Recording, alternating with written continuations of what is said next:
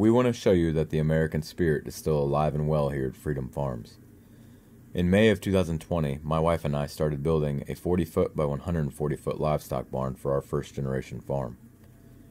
By mid July, we had the barn nearly complete, minus the metal siding that we were waiting on.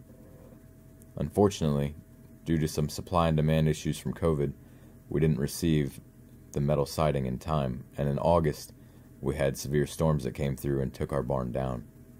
However, we're cleaning up the mess right now and getting started on our new barn again.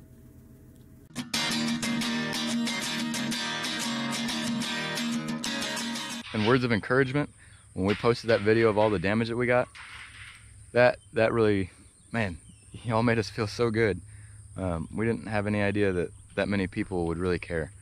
Um, and we're a tiny farm in Missouri that nobody, very few people have heard of, and uh, you know, that's the first thing I want to say in this video is thank you all for your kind comments, the likes on the video and everything. And you're right, we are going to build and we're going to build as soon as we get this cleaned up probably.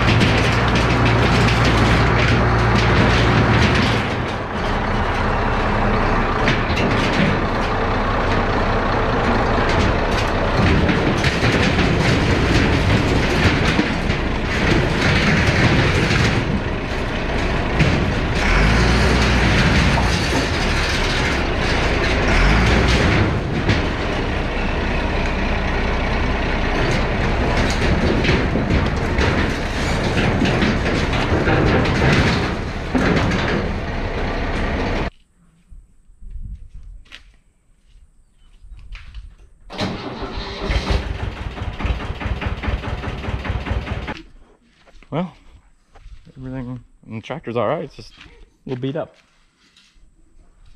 Tough old girl. A lot of weight.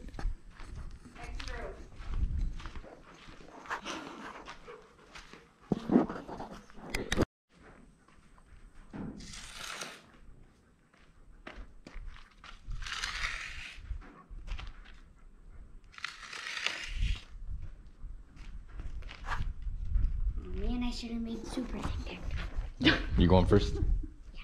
What's super go ahead. tic-tac-toe? Oh, it's a really big one where you have to make four in a row. Oh. And it's the same, just you gotta make four in a row.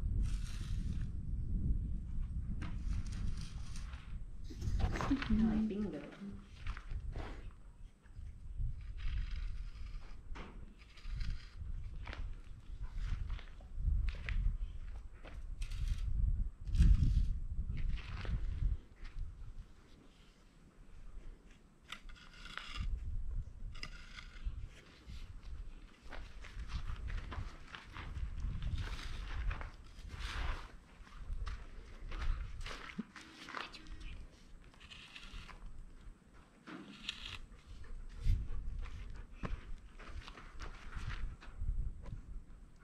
Oh. Thought I was gonna pull it off. Good job, bud. Way to look before you drew. I wasn't gonna tell him either. I wouldn't either. Part of the game. Gotta learn, right? There you go. Nobody's gonna win. Alright, another draw. Can beat me. And I can beat you. We're gonna try something new. Got a suggestion uh, in the comments before about doing a voiceover during some of the time lapses, so we're gonna try that. What we're gonna do is explain real quick.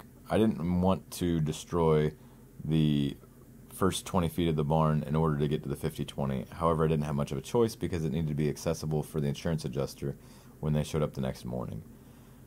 The insurance adjuster came out, obviously, looked at everything, saw the barn was totaled. The tractor itself was actually not in bad shape, just had a dent, well, a severe dent in the hood, and unfortunately, that dent in the hood did puncture the radiator and had a pinhole leak. However, I was able to fix the radiator by soldering it. It worked out pretty well. It hasn't leaked since, so pretty happy about that because that tractor is very useful to us and hard to find another one. The other thing, the materials. We didn't want to see them go to waste. And the best thing to do in that case was we talked to one of our neighbors who wanted to build a hay barn. The trusses, six of the trusses did get damaged. Um, two of them were the end ones that we had to destroy to get to the tractor. One of them was already destroyed by the tractor. The other four actually got destroyed when the roof came down. Um, it ended up landing on the east wall and just broke some of the trusses. The trusses were repairable, however, we felt more comfortable not putting the same trusses back up with animals going to be living in the building. We want it to be as safe as possible. So, our neighbor helped take everything down, and then we moved all the materials to his place where he's going to build a hay barn with it, and then we bought new materials to build the barn again. You're going to see the build. It's going to be in uh, probably three or four videos to show the complete build because we're not going to drag it out. So, thank you for tagging along. Hope you enjoyed the video. Have a blessed week. And you can even share it with your friends. And if you have any questions, comment down below. And if you like the channel, subscribe to the channel. Finally.